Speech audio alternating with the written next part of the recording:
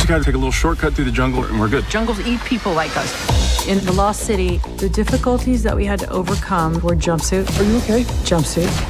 Jumpsuit. Yep, mount it. Mount it. We wanted to create the absolute least comfortable thing that you would choose to wear, especially on a jungle adventure. Do I need to be wearing a glitter onesie?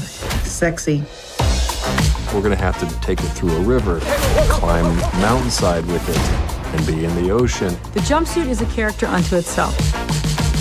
I was uncomfortable in my normal baggy cargo pants and like tennis shoes. That jumpsuit, it was fitted and like the whole thing with the heels. Oh, God. Whoa, whoa, whoa, whoa, whoa, whoa. That was acting. Good acting! Can't imagine what the sequence was doing to her skin. It must have been like wearing a cheese grater. We wanted something that, when you stuck this in the jungle, was going to stand out. How do they keep finding us? Basically a walking disco ball. I'm going to be talking about the jumpsuit for the rest of my life, but would I have changed it? Hell no.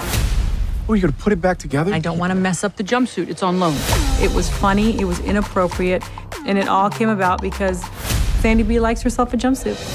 And I like a sparkly jumpsuit.